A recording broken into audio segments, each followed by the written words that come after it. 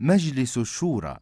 قال تعالى والذين استجابوا لربهم وأقاموا الصلاة وأمرهم شورى بينهم ومما رزقناهم ينفقون.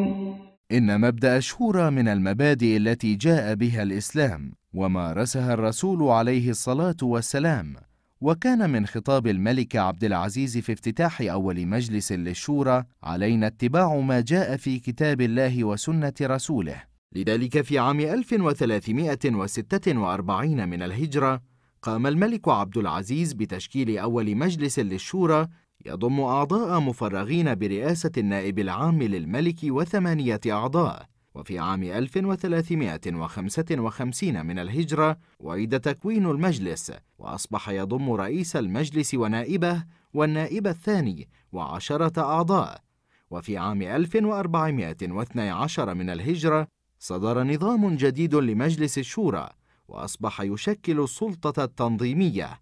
عدد أعضاء المجلس 150 عضواً ومدة المجلس أربع سنوات.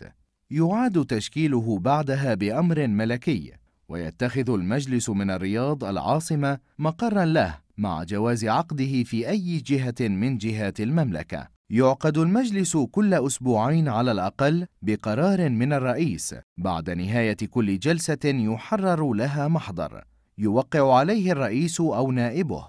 وقبل نهاية العام يرفع الرئيس تقريرا سنويا للملك يطلعه على ما تم إنجازه. اختصاصات مجلس الشورى. إن مجلس الشورى يقوم بإبداء الرأي في السياسات العامة للدولة وفقا لما يلي. مناقشة الخطة العامة للتنمية الاقتصادية والاجتماعية. دراسة المعاهدات والاتفاقيات الدولية. تفسير الأنظمة. مناقشة التقارير السنوية للوزارات والأجهزة الحكومية الأخرى.